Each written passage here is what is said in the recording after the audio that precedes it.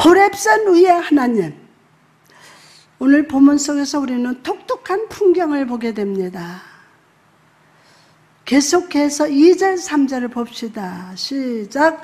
여호와의 사자가 떨기나무 가운데로부터 나오는 불꽃 안에서 그에게 나타나시니라 그가 보니 떨기나무에 불이 붙었으나 그 떨기나무가 사라지지 아니하는지라 이에 모세가 이르되 내가 돌이켜 가서 이 큰 광경을 보리라. 떨기나무가 어찌하여 타지 아니하는고 하니?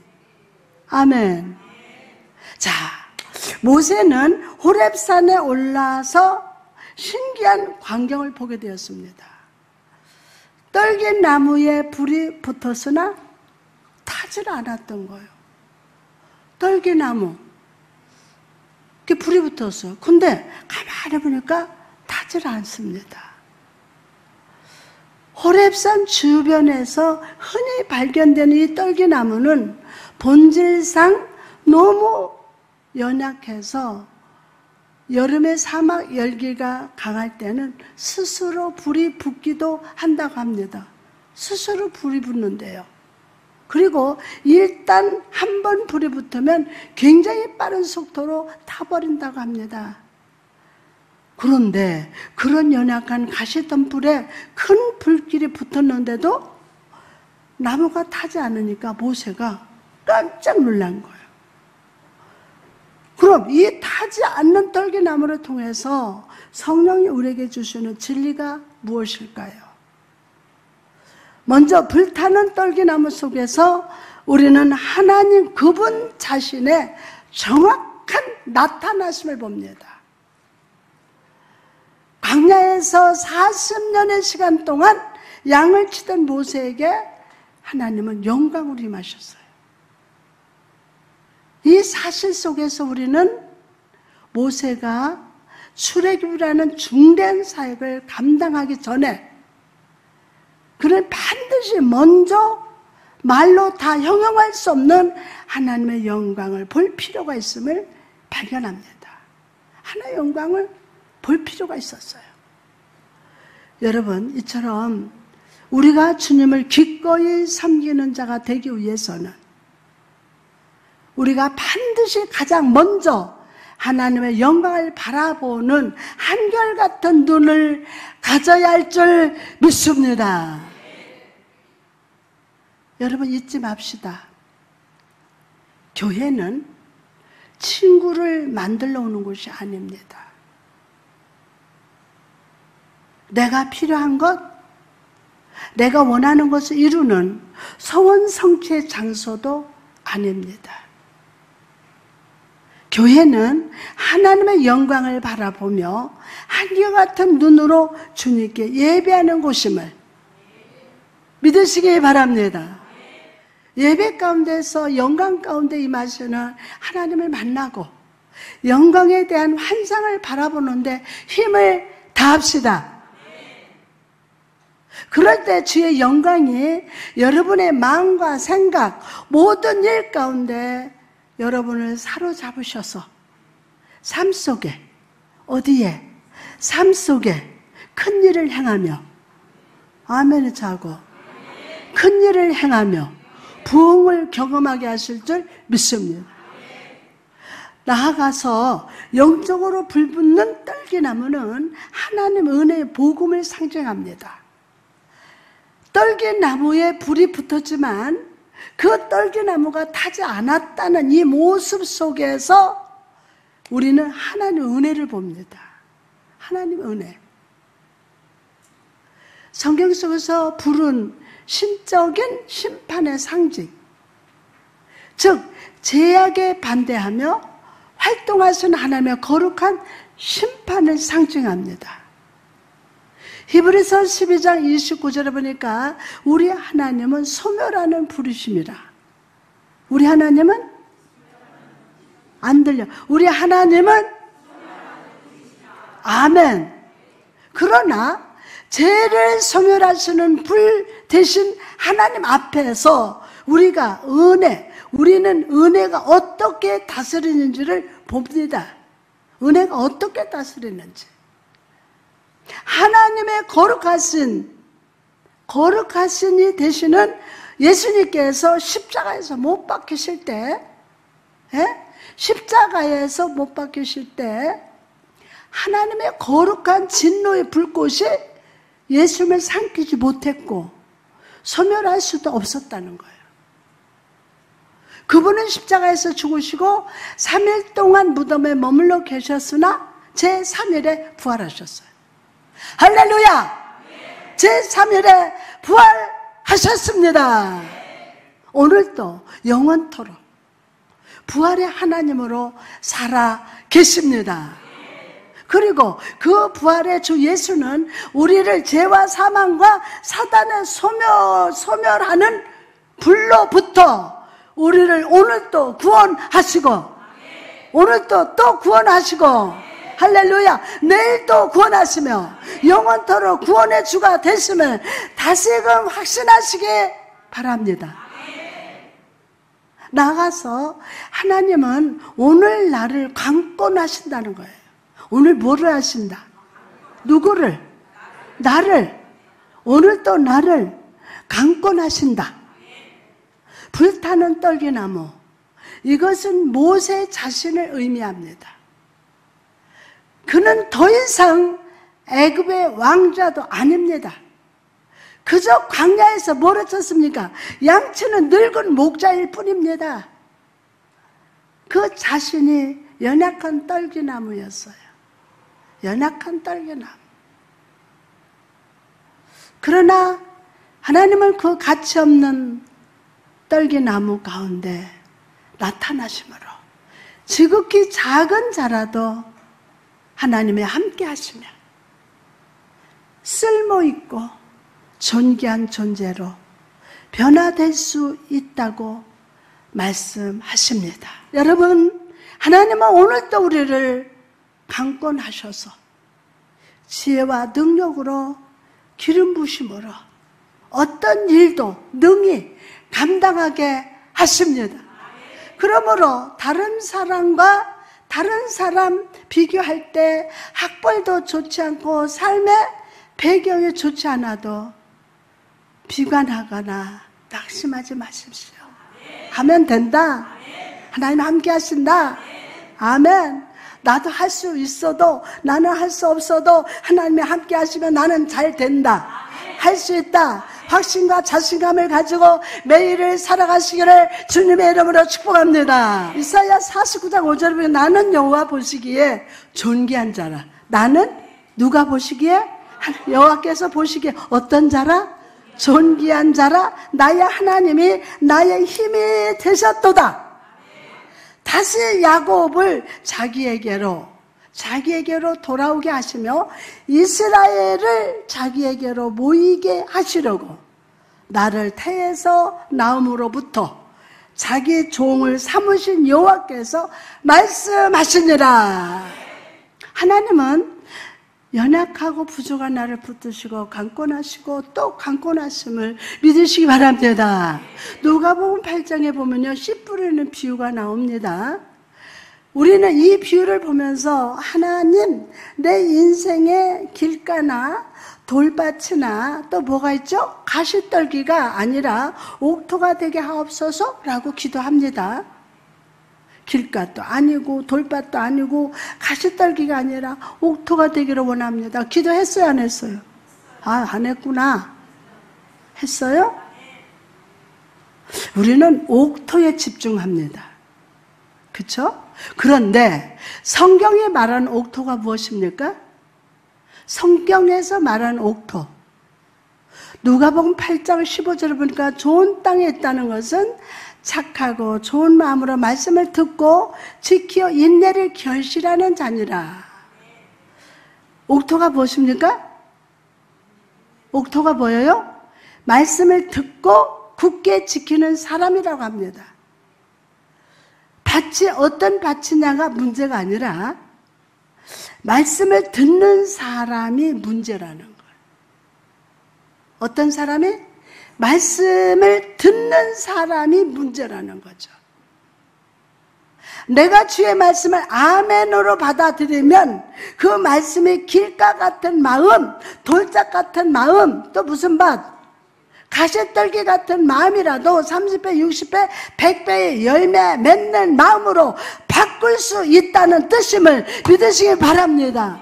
바꿀 수 있다! 너무 의뢰가 되지 않나요? 응? 모세를 보시기 바랍니다. 한때는 자기 자신이 이스라엘 백성을 구원할 수 있다라고 생각했습니다. 그러나 결국 그는 실패했어요. 실패했어요. 80세 노인이 되어서 광야에서 양을 치는 신사가 되었을 뿐입니다. 그러나 떨기나무에 불을 불로 찾아오신 붙은 불로 찾아오신 하나님이 그와 함께 하시고 그를 붙드시사 강권하셨을 때 아멘.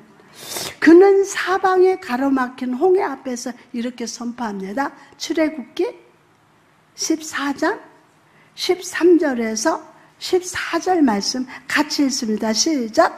모세가 백성에게 이르되 너희는 두려하지 말고 가만히 서서 여호와께서 오늘 너희를 위하여 행하시는 구원을 보라. 너희가 오늘 본 애굽 사람을 영원히 다시 보지 아니하리라 여호와께서 너희를 위하여 싸우시니 너희는 가만히 있을저다 여호와께서 너희를 위하여 싸우시리니 너희는 가만히 있을저다 여러분, 여러분의 상황이 어떠하든지 오늘 이 말씀을 아멘으로 받으시기 바랍니다.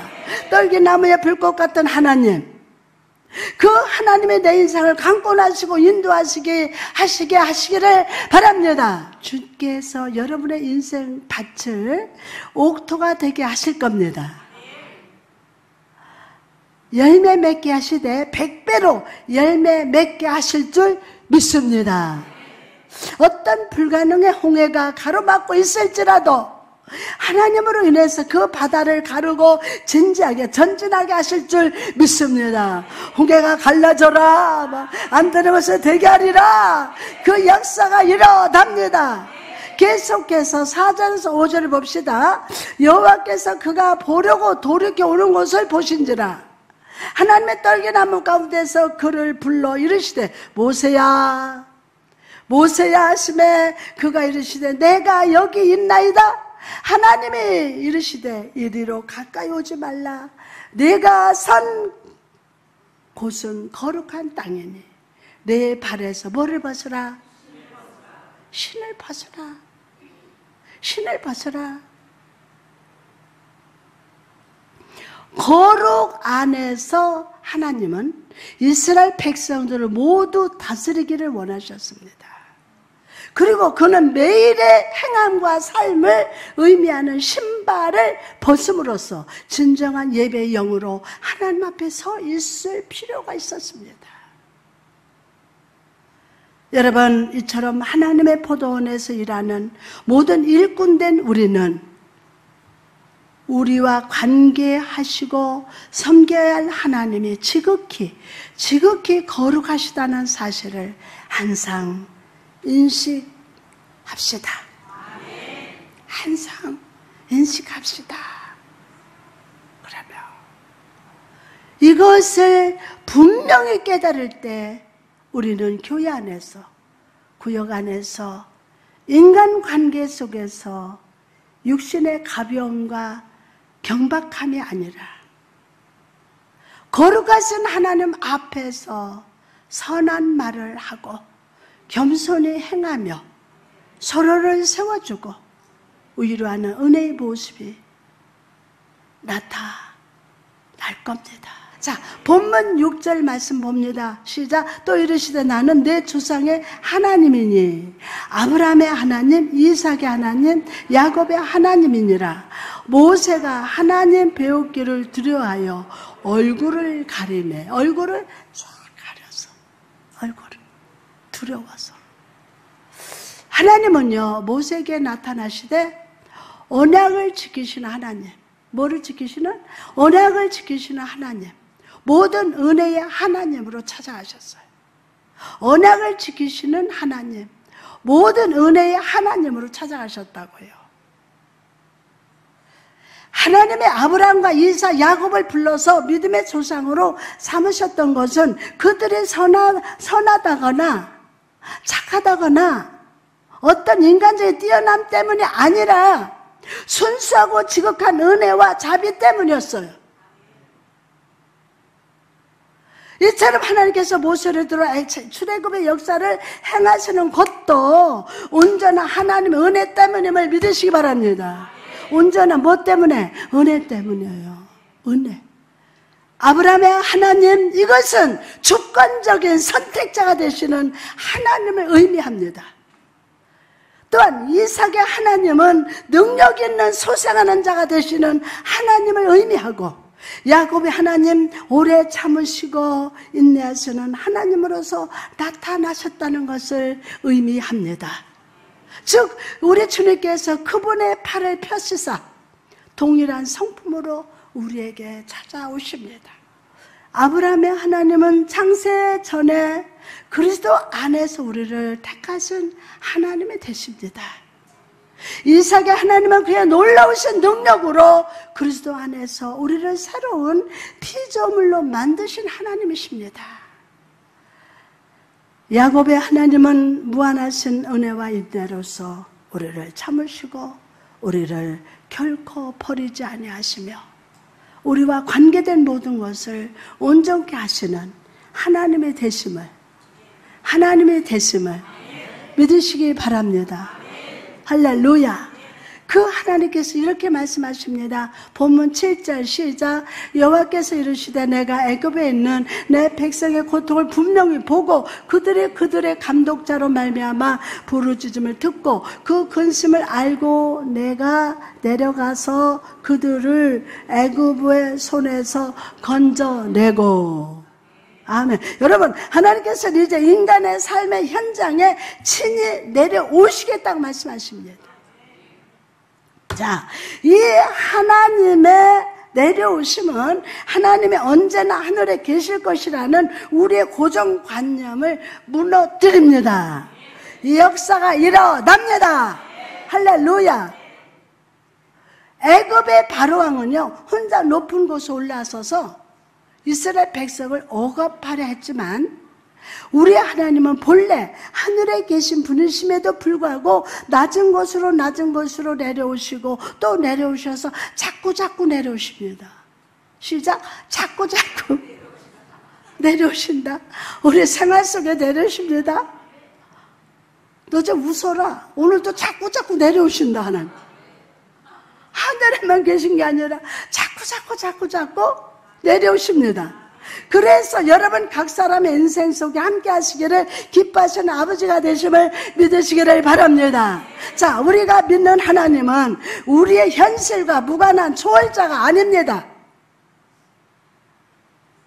그분은 우리 삶에 토해내는 모든 삶의 현장들을 가까이 서서 보고 들으시며 내려오셔서 자꾸자꾸 내려오셔서 관계하시는 우리 인생의 한, 한 복판에 계신 임마누엘 하나님이 되십니다. 다 같이 임마누엘 임마누엘 하나님의 되십니다. 그러므로 여러분 다가오는 한 주 우리의 삶의 현장에서 함께 하시며 가까이에서 보고 들으시며 관계하시는 하나님과 함께 살기로 결단합시다. 결단합시다. 할렐루야. 그러면 그러면 그러므로 여러분 결단한 여러분 위에 성령이 급하게 찾아가셔서 할 수 있도록 기름 부어 주십니다. 하나님의 교과서를 들고 열심히 배우고 훈련받고 주와 함께 살면서 영적으로 육적으로 성장하게 해달라고 간구하시기를 바랍니다. 오늘 본문의 떨기나무에 불을 부른 불꽃이라는 말의 원어 성경을 보니 이 단어는 날카로운 칼이라고 뜻이 있습니다. 날카로운 칼이라는 뜻이에요. 나무에서 불이 타고 있는데 마치 날카로운 칼처럼 그 나무 중심에서 타고 있었다는 것입니다. 이 칼과 같이 불타는 불꽃을 보면서 우리는 우리에게 향하신 하나님의 기대를 발견합니다. 바로 내가 주 안에서 내 믿음과 영이 성장하기를 기대하신다는 거예요. 신명기 8장 4절에서 5절에 공동 번역 성결 보면 이렇게 쓰여 있습니다. 지난 40년 동안 너희 몸에 걸친 옷이 떨어진 일이 없었고 발이 부르튼 일이 없었다. 너희 하나님 야외께서는 사람이 자기 자식을 잘 되라고 고생시키듯이 그렇게 너희를 잘 되라고 고생시킨 것이니 이를 마음에 새겨 두어라. 이를 마음에 새겨 두어라. 여러분, 이스라엘 백성들은 하나님의 주권적인 역사로 출애굽하게 되었습니다. 출애굽하게 되었어요. 출애굽한 후에 하나님은 만나를 먹이시고 구름 기둥, 불 기둥으로 인도하시면서 물도 먹이시고 매출하기도 먹여 주셨습니다. 그런데 이 백성들은요 조금만 힘들면 애굽으로 돌아가자고 불평을 합니다. 성경을 보십시오. 백성들은 정말 수시로 하나님께 원망하고 모세에게 불평을 합니다. 하나님 왜 우리를 이런 광야로 끌어내서 고생시키냐고 비난을 합니다. 그런데 여러분, 이 백성이 광야에 나온 이유가 무엇입니까? 하나님이 노예로 살던 백성에게 자유를 주시려고 광야에 나오게 하신 것이 아닙니까? 여러분, 자유에는 두 가지 의미가 있습니다. 하나는 권리이고, 또 하나는 뭐예요? 또 하나는 책임이에요. 권리와 책임이에요. 자인으로서 이스라엘 백성은 하나님의 공급하시는 모든 것을 누릴 권리가 있지만, 그러나 권리가 있다면 자인으로서 책임도 있음을 아셔야 합니다. 책임도 있어야 돼요. 하나님 우리가 힘들 때마다 과거로 돌아가자 돌아가는 자가 아니라 에? 돌아와야 돼요.